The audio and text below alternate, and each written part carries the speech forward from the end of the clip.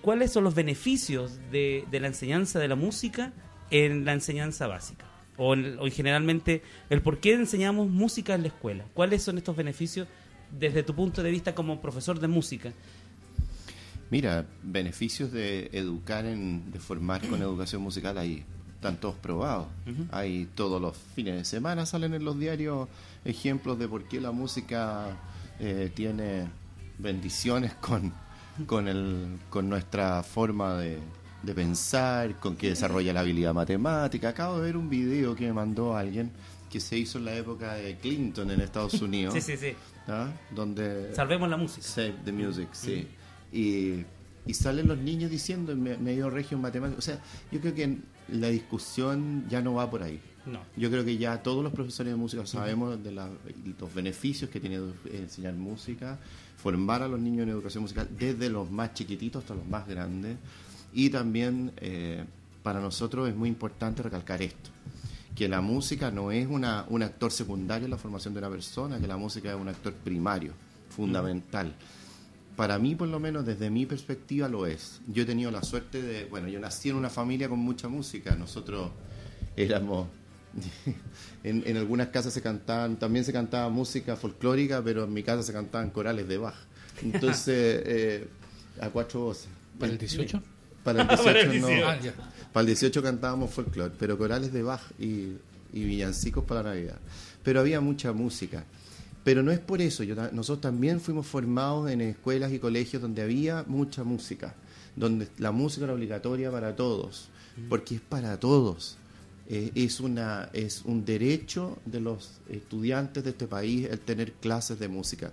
Todos ellos, no aquellos que, entre comillas, nacen con un talento, que pueden desarrollar, por ejemplo, la experiencia de tocar el violín. No, no, no. Es para todos. Y por eso es tan importante la educación formal. Y por eso imagino que estamos acá eh, discutiendo a propósito de este famoso decreto que tú mencionaste, el 1363, y que y yo me alegro que, podamos ahora decirlo en una radio. Eh, yo ya lo dije en el diario, mandé una carta al Mercurio, me la publicaron y eso causó mucho revuelo eh, a propósito de mi rechazo a ese decreto. Bien, de eso vamos a estar hablando quizás más adelante, de, de tu experiencia de epistolar con ciertos personajes de la educación chilena. Eh, y Carlos, eh, a, modo de diagnóstico así de lo que de, los, de la parte eh, marcos curriculares que hemos tenido en, la educación básica principalmente, porque este es el punto que estamos hoy abocados a la educación básica, quizás como modo de diagnóstico, ¿nos puedes hacer un panorama muy general de lo que actualmente hay, de lo que hubo y de lo que vamos a tener si es que esto sigue en pie? Sí, bueno. Antes de todo, muchas gracias por el espacio. Creo que, que la radio esté dando esta oportunidad de poder comunicarse con una audiencia que están tal vez más lejanas a nosotros, nos da una posibilidad enorme de poder reflexionar también con ellos sobre la contingencia en relación a este decreto y más profundamente en relación a lo que significa el sentido de enseñar música en la escuela, que creo que es lo que está en juego acá. Respecto a tu pregunta, Enrique, uno puede analizar esto en dos niveles. Primero, un nivel largo, grande, tomando un periodo amplio de la historia. La música formalmente llega a la escuela a finales de los 90, pero en el 1800, ya con la llegada de los profesores alemanes y la creación del currículo para educación secundaria y básica y al mismo tiempo la formación de profesores generalistas pero con eh, varias asignaturas de música con una especialización en música. Eso es realmente un hito no para para nuestra historia ¿Es verdad que Chile fue el primer país en Latinoamérica que instaura la educación musical formalmente? Sí, sí. Ahora, eh, eso tiene también algunas... algunas eh, matices. Eh, algunos matices, muchas gracias. porque hay una instalación desde la, la prescripción, es decir, desde el currículo que se aprueba. Mm. Sin embargo, Por ejemplo, la aprobación de este currículo en 1892 es sustituida por un nuevo currículo a inicios del 1900, 1905, si mal no recuerdo. Luego hay un nuevo cambio curricular a inicios de la década del 10. Luego un nuevo cambio curricular más fuerte aún a inicios de la década del 30, donde en un comienzo lo que se había puesto en el currículo de los años 10, eh, de principio del 1900, estaba enfocado al canto colectivo en 1933 en adelante, con toda la reforma del Conservatorio de la Universidad de Chile, eh, se instala un currículo que está pensando en enseñar apreciación musical, historia de la música y también lenguaje musical. ¿Por qué? Porque los músicos de la época y los profesores universitarios de la época veían que las políticas que se habían construido a comienzos del siglo eran eh, muy bien intencionadas en el papel, pero que habían olvidado el aprendizaje de contenidos musicales. Eh, solamente se habían dedicado al canto y que como no habían suficientes profesores de música preparados para eso, los criterios con que seleccionaban las canciones o con que trabajaban pedagógicamente los cantos no dejaban a ellos mucho que desear. Entonces hubo como un cambio del péndulo hacia el otro lado. Eh, es, una, es, una, realidad muy distante a la que actualmente estamos viviendo, donde más de siete, ocho instituciones... Pero si ya quiero ir, mira, hay, en ese instante, en los años 30, esta es la mirada larga, en los años 30 está cargado hacia lo académico, una visión académica de la música, de la enseñanza de la música. En los años 50 se introduce en 1955 un currículo que no se alcanzó a implementar, se introducen los primeros principios psicologistas de la educación, es decir, una educación musical que está buscando formar más allá del aprendizaje musical, sino que formar en tanto persona a los estudiantes. Luego la reforma del 1965 que amplía el acceso y pone un currículo, tal vez el currículo más sólido que hemos tenido hasta ahora en música, donde Participaron gente del campo académico, profesores de la Universidad de Chile, donde también había una carrera que desde 1947 formaba profesores especialistas, donde además había un campo, un campo artístico muy nutrido con muchas asociaciones de música, no solamente docta, sino que también folclórica, popular. Era un, momento de ebullición cultural potente y que es cortado por el el golpe militar en 1973 y el nuevo currículo que se instala en los 80. Ese nuevo currículo desdibuja los contenidos de orden social que habían puesto, sido puestos en los 60 y, y deja instalada una serie de contenidos, pero que no tienen una secuencia clara de cómo avanzan, ni tampoco unos objetivos a lograr ordenados por cada nivel. La reforma de los 90 intenta modificar eso, generando un nuevo subsector, un sector de artes, con enseñanza de, música, de arte musical y, y artes visuales, y trata de, volver en algún grado a la obligatoriedad anterior, eh, cosa que actualmente está cambiando. Yo quisiera cerrar este panorama largo solamente con porque yo sé que la idea no es hablar de historia, sino llegar al presente. Creo que pero que es muy necesario para sí, claro, para tener un contexto. Yo creo que es muy importante tener conciencia de que en toda la historia de la educación musical en Chile, desde el periodo republicano en adelante, hemos tenido un divorcio muy grande entre las políticas educativas, es decir, el currículo propiamente tal, y las prácticas que hacen los profesores.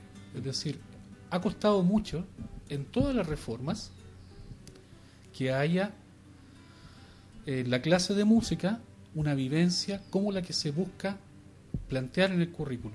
Esa es una primera condición que hace que esta reforma que actualmente se está eh, implementando, que ya fue aprobada en julio, ponga todavía un, un, signo de debilidad mayor en esto. O sea, tenemos una realidad histórica donde la música ha carecido de un pensamiento teórico detrás. Es decir, no me, no me refiero a la teoría musical que aprendemos en la universidad, al lenguaje musical. Me refiero a que no hemos tenido todavía una educación musical que haya estado sustentada por una teoría, una visión de lo que quiere desarrollar y que haya logrado, además de estar en el currículo, llegar completamente a la sala de clase. Y ese es un problema serio, que esto, a mi juicio, como tú me preguntas a mí, y yo te respondo a ti, y a todos los teleaudientes.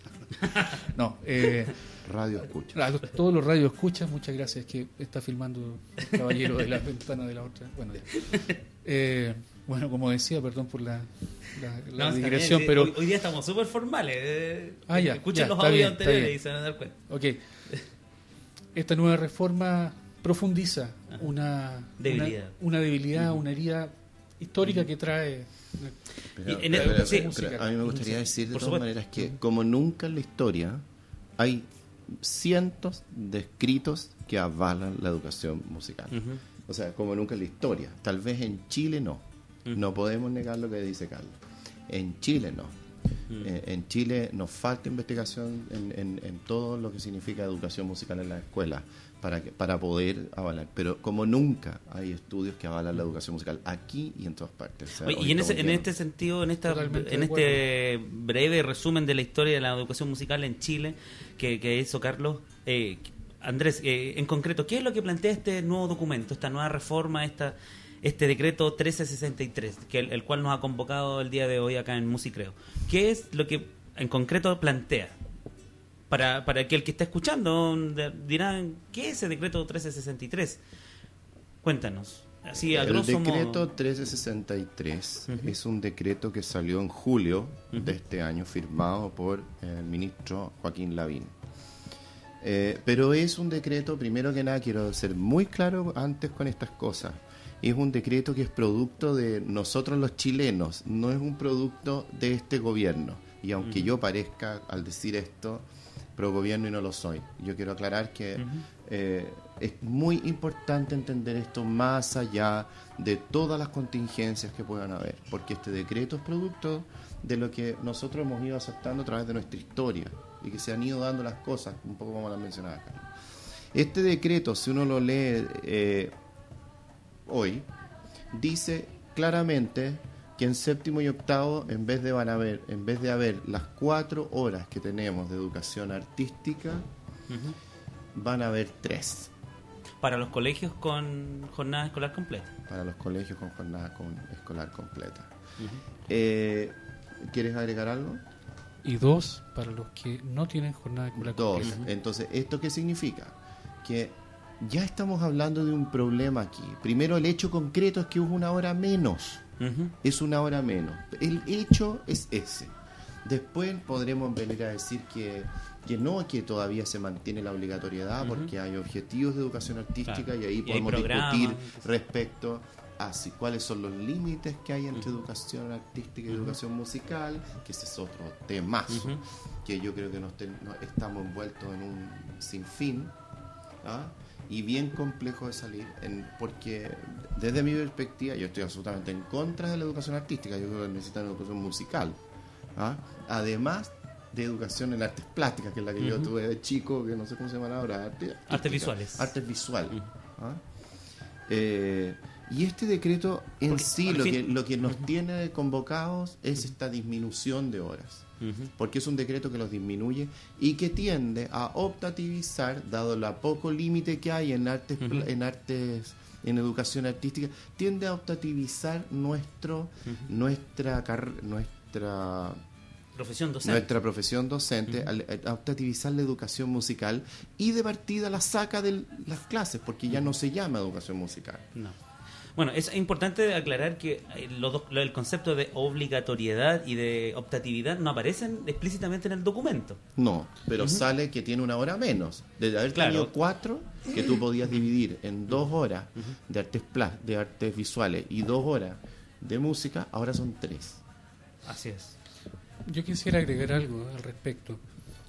Por lo general, este tipo de documentos están confeccionados con un estilo de reacción en el cual no van dando cuenta de todos los cambios que van haciendo, sino instalan una nueva construcción.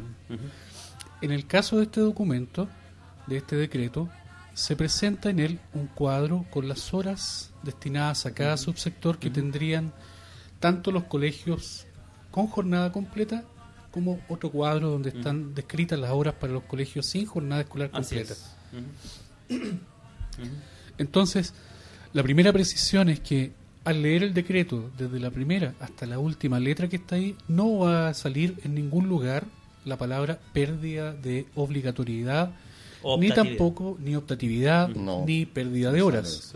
Eso aparece cuando uno hace un análisis comparativo mm. entre las horas destinadas actualmente, o al menos en la reforma anterior, que aún se mantiene en algunos colegios, y con las que son propuestas por el nuevo decreto.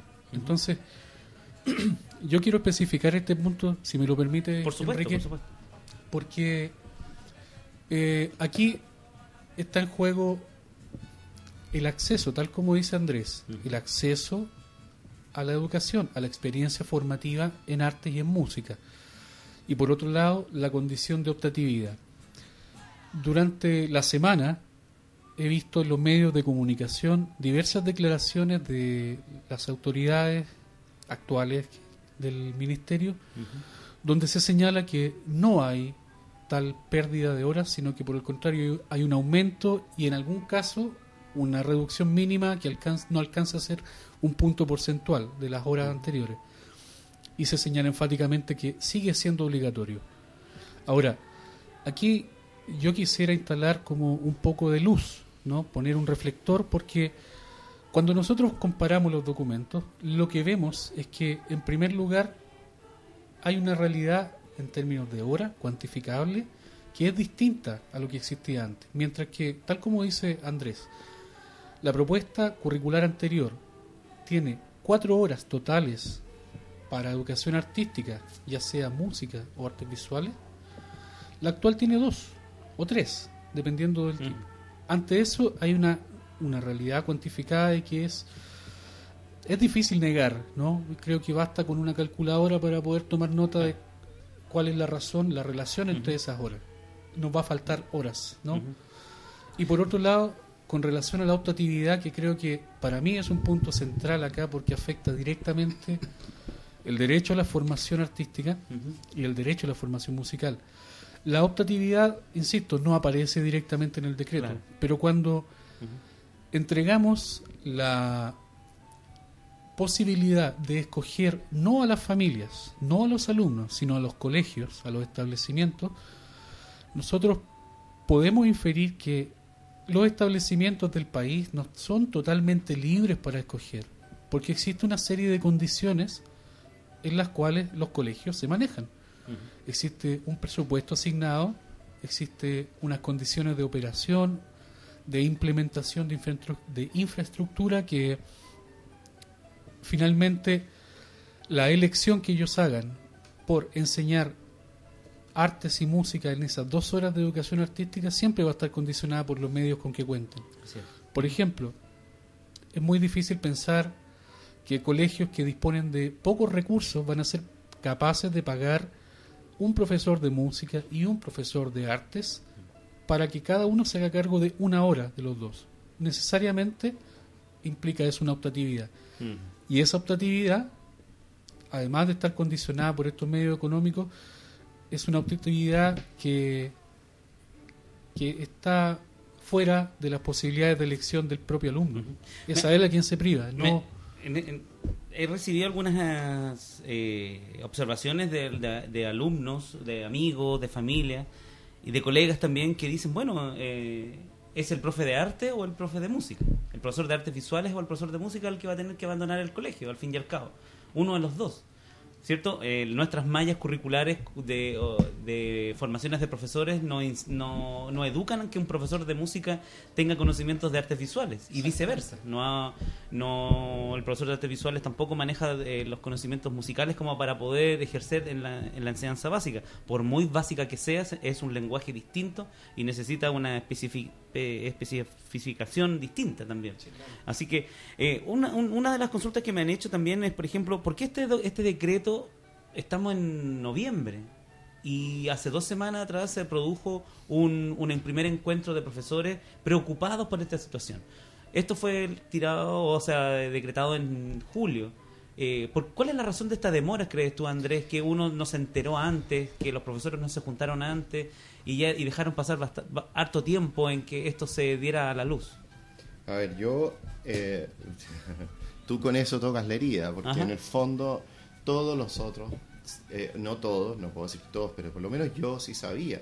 El año pasado, y lo he contado en varias charlas y me ha tocado darlo en, en ponencias, eh, yo he estado en el año pasado, fui a la UNCE, me acuerdo, a una reunión de, donde, vuelvo a decirlo, yo esperaba ver a enardecidos profesores de música porque sabíamos que venía este decreto. Y éramos tres pelagatos. Mm. Éramos tres personas, tres directores de carrera y diez alumnos en una aula magna gigantesca, donde estaba una persona que era del Consejo Nacional de la Música, no, contando esto que se venía y que nosotros teníamos que hacer algo. Yo participé en todo lo que pude, yo no tenía voz en esos tiempos y en verdad eh, eh, el año pasado también fui a una reunión de ADEMUS, donde también se tuvo la oportunidad una estupenda oportunidad de decir algo, de mandar una carta previa, así como lo hicieron los historiadores, que los historiadores lograron revertir el decreto que venía para ellos. Bueno, los de música esperamos que la leche esté derramada, como digo yo, ya está, ya está servido el plato, aquí hay una, hay un problema serio, y ahora sí, bueno, yo por lo menos con el grano de arena que puedo, estoy haciendo las olas que puedo, y, remeciendo, tratando de, remecer el mar. Es complejo remecer el mar, porque los músicos somos somos también un, gremio... en copas de espera. Un, gremio como un gran clúster. ¿ah? Dejémoslo así. ¿ah? Como un gran clúster. Oye, pero en, en de quizás una manera de reivindicar este letargo que hemos tenido los profesores de música durante este tiempo, es bueno eh, hacer una segunda convocatoria una, a una reunión y esto ya tiene fecha y tiene día. Esto es el día miércoles 30, es decir, pasado mañana, miércoles 30 de noviembre a las 16 horas en el Instituto de Música de la Universidad de Alberto Hurtado. Esto es una reunión por la defensa de las horas de educación musical y esto está ubicado en Ejército 72 Metro Los Héroes. Entonces, una segunda convocatoria a la cual se espera que vayan muchos eh, directores de carrera, profesores de, de, la carrera de pedagogía, estudiantes y profesores en ejercicio. Se supone que mientras más número de, de profesores y de, del mundo, de las personas ligadas al mundo de la educación musical vayan, más ideas van a haber y más fuerza. Eh, se, han, se han hecho alguna serie de, de actividades desde esa reunión hasta acá. ¿Cierto? Eh, lectura de comunicados en, en algunas conferencias, eh, se han enviado algunas cartas al diario. Tú, Andrés, la semana pasada tuviste un, una comunicación ahí mm, en el diario El Mercurio eh, con la señora Loreto Fontaine, y, la que es la coordinadora nacional de la unidad de currículum y evaluación. La respuesta que ella te dio, que todos ya muchos la hemos leído, ¿es satisfactoria para ti?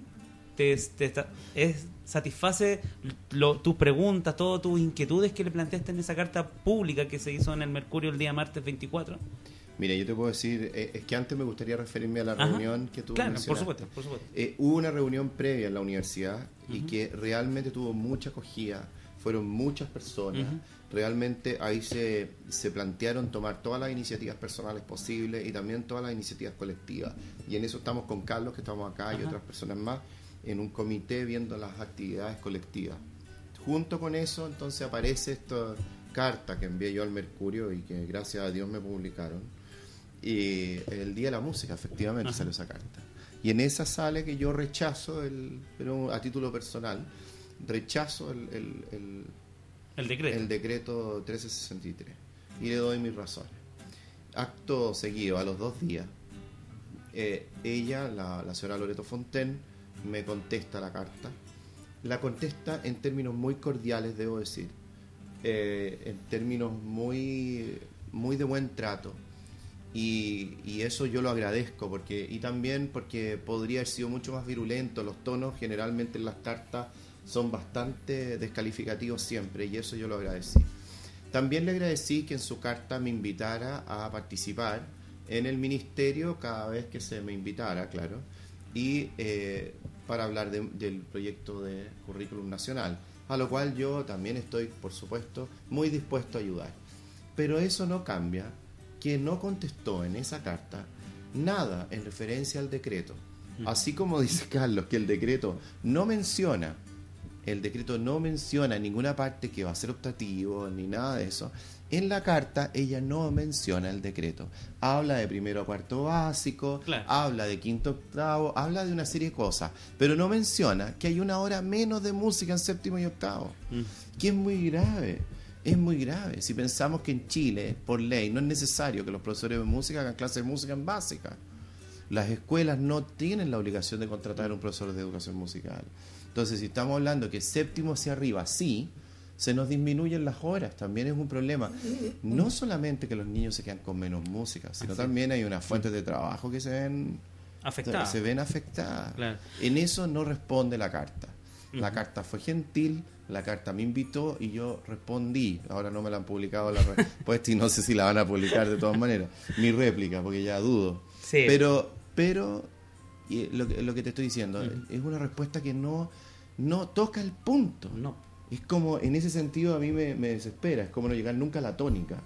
Eh, usando términos musicales. Estamos en una completa dominante todo el tiempo y ayer también pasó lo mismo entre ministros y eh, también hay, otra otra eh, variable que, se, que, que los ministros están manejando, que es eh, mencionar, aparte de, este aumento de horas de primero a cuarto básico, en un, en un documento que no conocemos, ¿cierto? No sé en qué documentos se están basando, si hay algún decreto de los planes y programas para de primero a cuarto básico, otra de estas variables que, y que mencionan harto, especialmente el ministro de Cultura y también el, ministro Bulnes en el programa Tolerancia Cero de, ayer en la noche en Chilevisión, mm. ellos hablaban sobre la libre disposición como alternativa. O sea, los directores, sostenedores de colegios toman estas libres disposición que para los, colegios con jornada escolar completa son seis horas.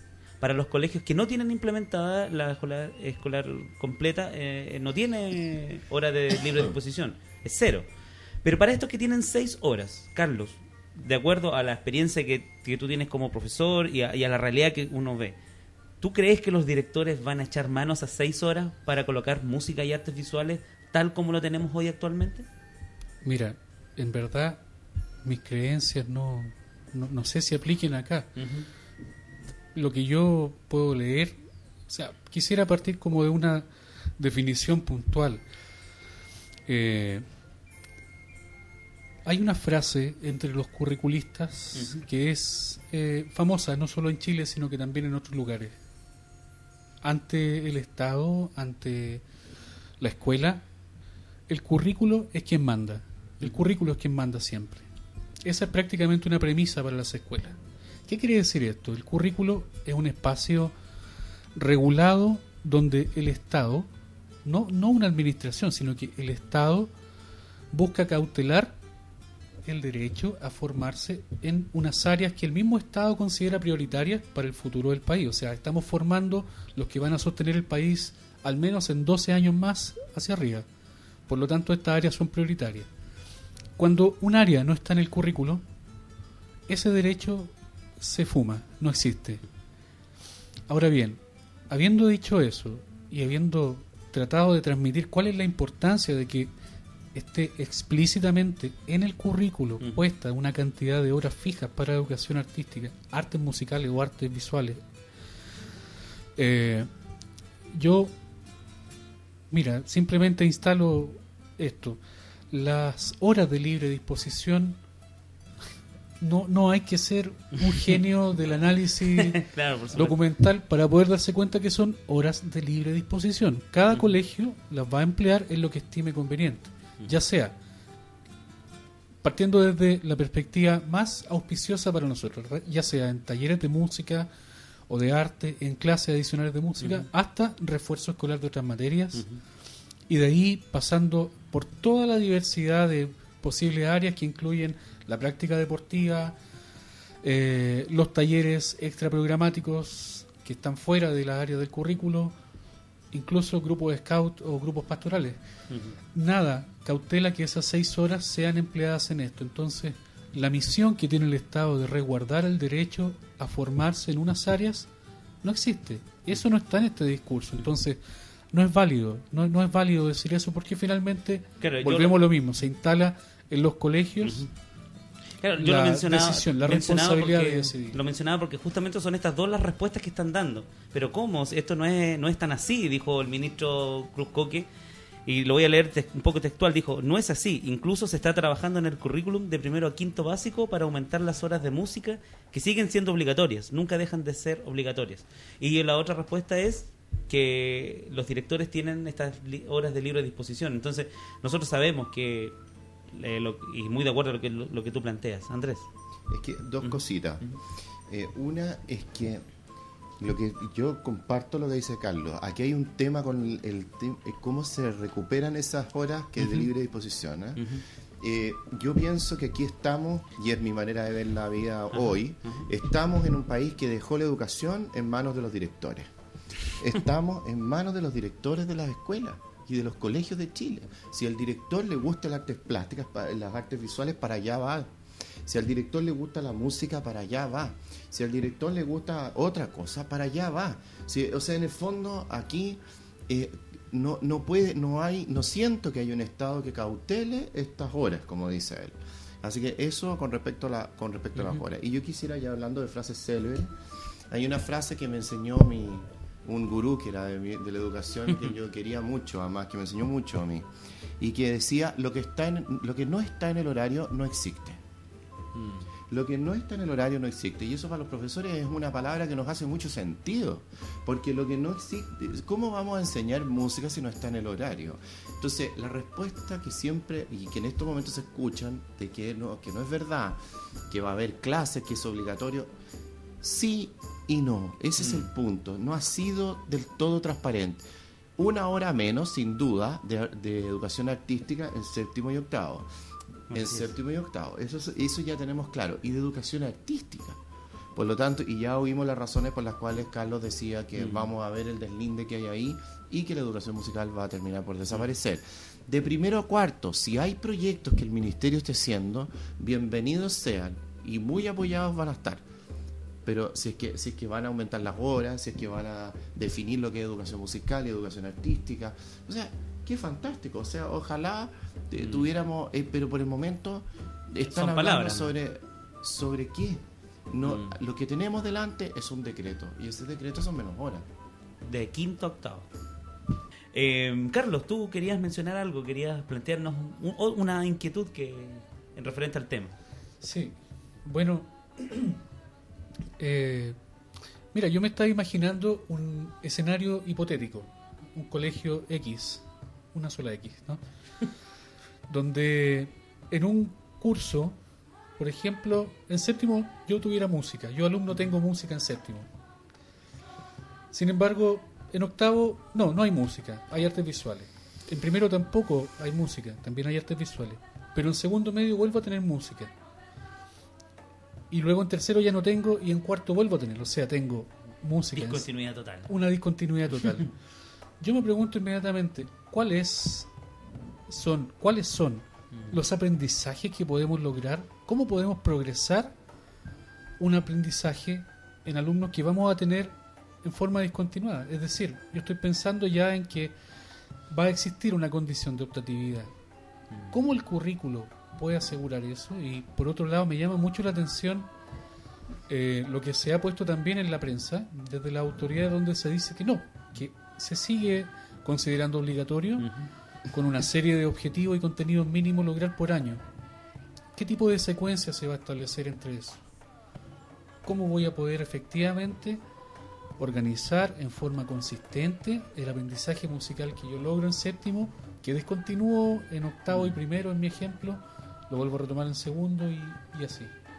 Me da la impresión que haciendo ese análisis nosotros podemos darnos cuenta que no solamente es una cosa concreta, es optativa, la tengo y no la tengo, sino que también me pierdo la posibilidad de generar aprendizajes duraderos, aprendizajes que puedan ser eh, logrados por medio del avance sucesivo. Y creo que esa es una de las condiciones que un currículo con presencia en todos los cursos puede asegurar versus unas horas de libre disponibilidad o una optatividad no puede asegurar en ningún caso. Pero eso te lo van a refutar, pues, te lo van a refutar diciendo que está igual y que está obligatorio. A mí me lo dijeron. No, no, está bien, yo creo que lo pueden refutar y, y, muy bien que así sea, pero a mí me gustaría que además de refutármelo, me pudieran como explicar, ver gráficamente que no se pierda esa secuencia. Porque yo también hago el siguiente ejercicio. ¿Qué pasaría si una de las asignaturas que son más emblemáticas, tradicionalmente hablando en nuestro currículo, tuviera esta condición? ¿Qué pasaría si nosotros, por ejemplo, no enseñáramos lengua castellana e inglés, sino que mm. enseñáramos lenguaje en general? Y cada colegio pudiera optar.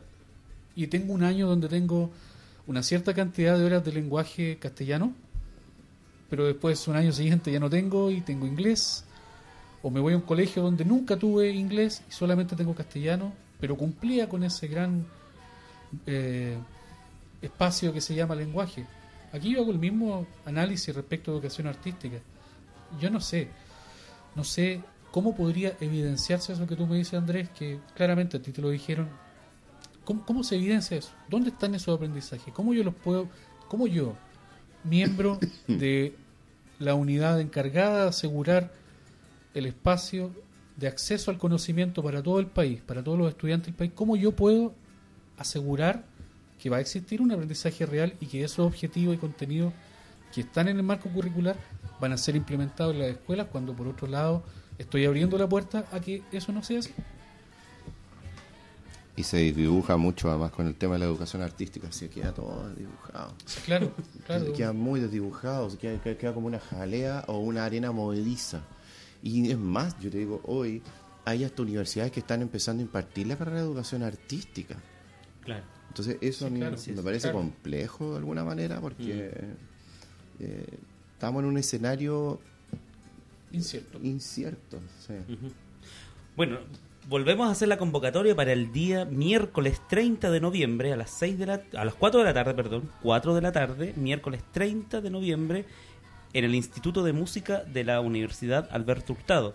Una segunda reunión por la defensa de las horas de educación musical y se convoca a todos los actores ligados a la educación musical, profesores, eh, jefes de carrera, eh, directores de carrera, eh, alumnos, estudiantes, profesores en ejercicios a Ejército 72 Metros Los Héroes. Ejército 72 Metros Los Héroes este miércoles 30 de noviembre a las 4 de la tarde. Es la segunda reunión por la defensa de las horas de educación musical. Y hoy estamos en un especial de Musicreo junto a Carlos Poblete, coordinador académico de la Escuela de Posgrado de la Facultad de Artes de la Universidad de Chile, y Andrés Castro, director de la carrera de Pedagogía en Música de la Universidad Alberto Hurtado. una persona me, preguntó, eh, Rodrigo Cavieres, estudiante de periodismo de la Universidad Austral de Chile. Dice él, durante el 2011 se trató de reducir las horas de historia y filosofía y ahora con este decreto los de música y artes visuales. ¿Responde este tipo de política a la necesidad de Chile de aumentar sus índices en lenguaje y matemática en las pruebas internacionales? ¿Qué consecuencias podría traer este tipo de acciones? Mire, yo creo que sí. Yo creo que responde a, que están necesitados de, más horas los, ramos como lenguaje, las asignaturas como lenguaje. Pero desde mi perspectiva, no van a... O sea, yo creo que desde mi perspectiva, y pienso desde la perspectiva de, cualquier persona que, que, que empecemos a conversar un poco, se va a dar cuenta que quitando algo no le va a mejorar por una hora más un, un contrapeso, así, no, no, ahora sí que vamos a mejorar el lenguaje. No, no, ahora sí que vamos a mejorar el lenguaje. Claro, no, no lo han mejorado usando las horas de libre disposición, menos lo van a usar con, una hora más, que le sacaron a arte. No sé, esa es mi perspectiva. ¿no? Mira, mi punto de vista, yo creo, o sea, según mi punto de vista, yo creo que Sí, hay una intención de dar más horas a lenguaje y matemáticas, hacer un trabajo eh, más concentrado ahí. Y yo pienso que, que, es, una, es una apuesta muy grande. Pienso que es una, una experiencia que, en el mismo sentido que lo dice Andrés, mientras no haya una forma de asegurar que esas horas van a ir al trabajo real de lenguaje y matemática y que se van a obtener buenos dividendos por medio del uso de una determinada metodología, eh, no creo que dé mucho resultado. Y más allá de eso, creo que incluso aunque dé resultado, no creo que sea la idea el quitarle horas a otros subsectores. ¿Qué va a pasar? Va a llegar un momento en el cual vamos a necesitar más horas para reforzar inglés. ¿Y qué vamos a hacer desaparecer? Mm. ¿Vamos a quitarle horas a religión?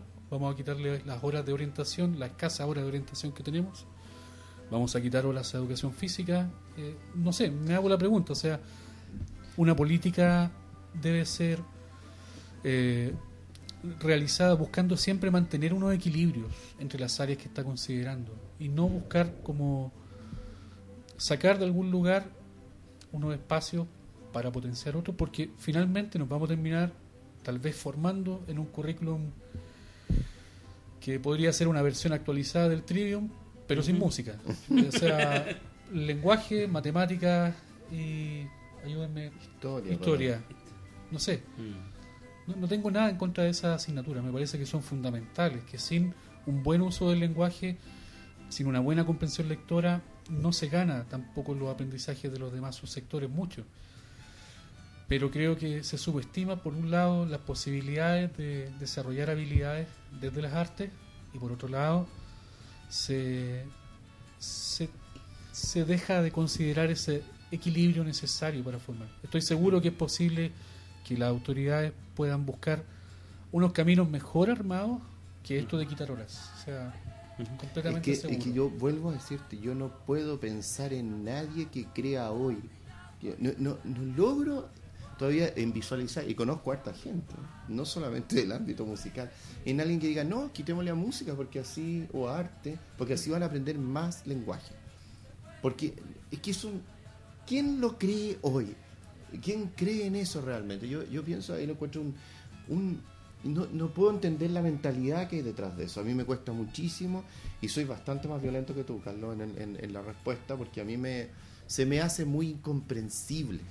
Se me hace muy incomprensible hoy por hoy, sabiendo todos los beneficios de educar en las artes, en la, educar en la educación musical, las interconexiones neuronales, el desarrollo afectivo, el desarrollo del lenguaje, el desarrollo motor, el desarrollo tantas cosas que desarrolla la educación musical y que son en pro de un buen lenguaje.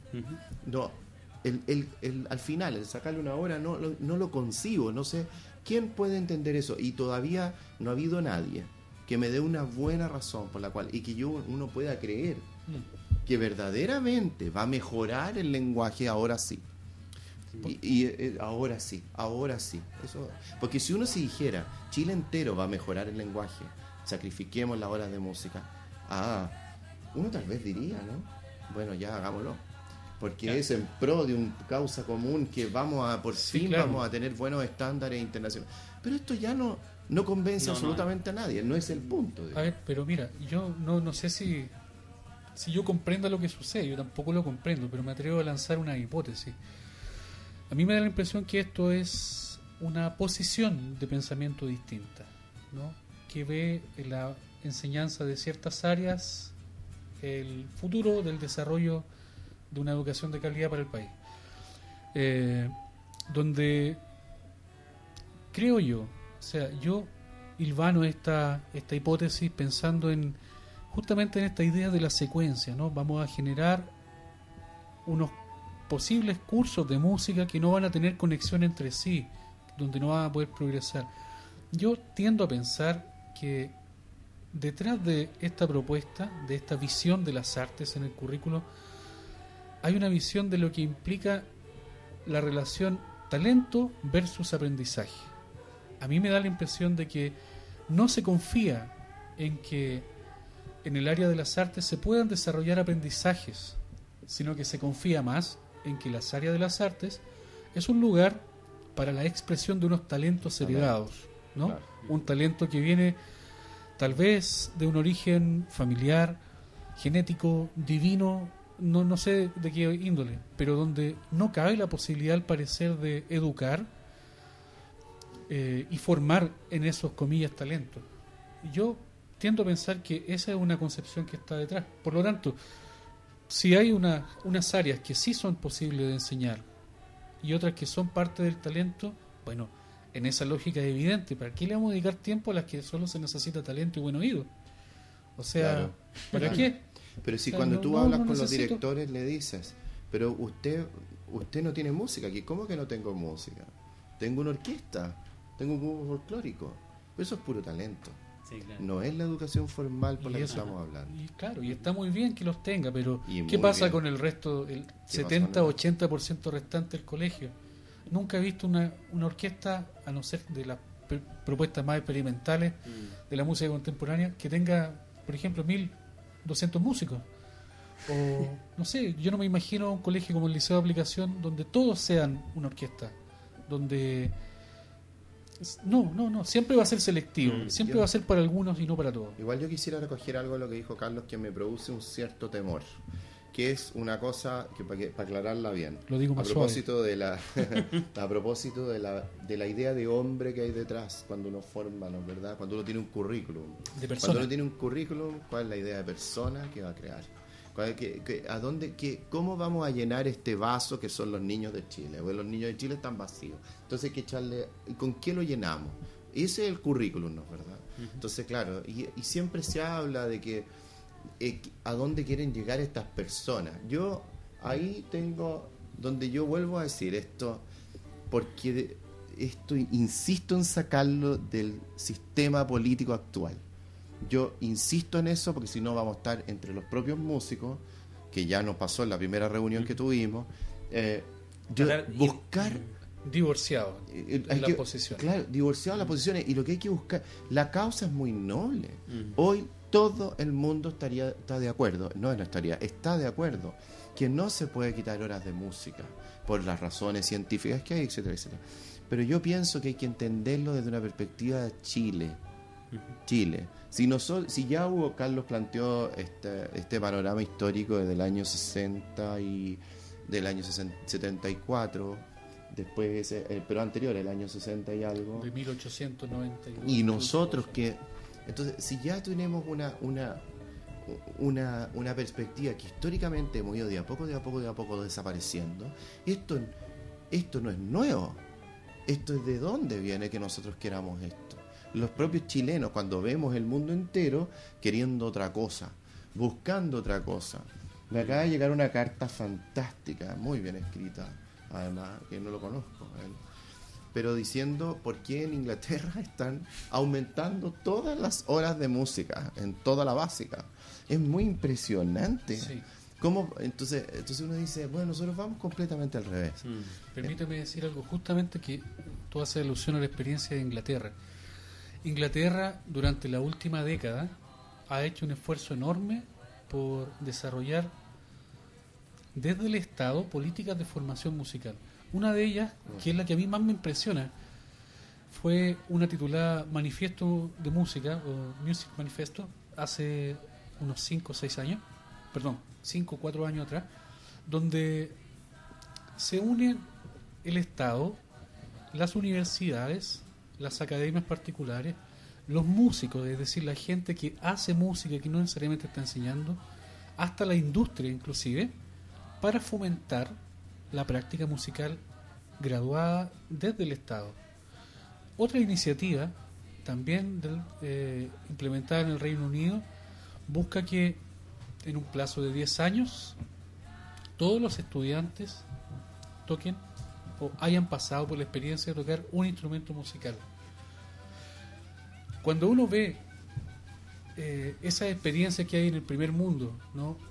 con el cual desde hace poco tiempo Chile se está codeando con un terno, con un terno barato, pero se está codeando en la OCDE, ¿no? en la OSD. Eh, uno ve esas experiencias del primer mundo, se da cuenta que aquí no hay una distancia de kilómetros, hay una distancia de años luz. Es decir, nosotros tenemos una distancia actualmente tal vez de unos 80 años con respecto al primer mundo en lo que es educación musical. Los temas que ahora estamos discutiendo acá, esos se discutieron ya hace muchos años allá. Y no hay que olvidar también que esto no es algo cultural. Aquí frecuentemente en nuestro país hay un dicho que dice es la raza es la mala. No, esto no es la raza, señores. Aquí hay unas condiciones objetivas que están fuera del contexto que generan unos cambios y generan unos modos de pensar. En los años 50, Chile era líder en Sudamérica y uno de los líderes mundiales en la educación musical, más allá que no haya estado presente en todas las escuelas. Pero para muestra un botón, la International Society of Music Education, la ISME, la Sociedad Internacional de Educación Musical, mm. uno de los referentes que aglutina a más profesores de música en todo el mundo, tuvo como primer vicepresidente, perdón, en la primera constitución de, de, una mesa directiva a un chileno, a Domingo Santa Cruz, que en el periodo siguiente pasó a ser el presidente de la ISME una ISME que tenía entre sus miembros a conocidos músicos norteamericanos, ingleses, franceses, y que tuvo también entre sus miembros al conocido Soltan Koday, presidente también de la ISME, y que por esos años hubo unas gestiones para traerlo acá. Estamos hablando de que hubo una época en que Chile sí tenía pensamiento sobre educación musical, sí tenía buenas políticas y sí tenía algo que mostrar al mundo en ese sentido. Aquí, insisto, no es un tema de raza, es algo que está relacionado con las políticas y con todo el contexto. Muy bien, yo los he dejado hablar y dialogar a estos dos académicos y yo no he tratado de interferir lo menos posible en esta segunda parte. Pero lo ha logrado, señor. para, para que ustedes eh, expresen libremente sus pensamientos, su, sus ideas y planteamientos en relación a este tema que sin duda nos, nos entristece, nos molesta y también nos preocupa. Eh, Andrés, a modo de resumen, a modo de resumen, como para ir cerrando ya eh, esta edición especial de Musicreo, eh, sin antes de, dar quizás algunos saludos a algunas personas que en estos días también han estado moviendo algunas cosas, como Juan Pablo González, por ejemplo, que él ha estado con algunas comunicaciones con el ministro de Cultura, también con el Consejo Nacional de la Música. Eh, también a Paula Huerta que ha estado enviándonos mail y comunicándonos algunas cosas, también es la convocatoria de este de, este día miércoles 30 a las 4 de la tarde en el Instituto de Música en Ejército 72, Metro Los Héroes. Em, eh, invitar a los amigos que, que están escuchando esto, que lo quieran bajar después de este audio, lo pueden volver a escuchar a partir, yo creo que desde la 1 de la mañana del día de, mañana Eh, llegando a la casa se edita esto, se, se, se suben volúmenes, se bajan volúmenes, qué sé yo, y se sube a la red para que se pueda difundir. Lo pueden bajar de musicreo.blogspot.com musicreo.blogspot.com y para que se difunda en medio de la comunidad. Andrés, a modo de resumen, ¿qué es el decreto 1363 y de qué manera afecta a nosotros, los profesores, y a, y a los niños de Chile? A los niños de Chile los afecta directamente para tener una hora menos de educación artística, que ya no sé muy bien lo que es. Eso es el resumen mayor.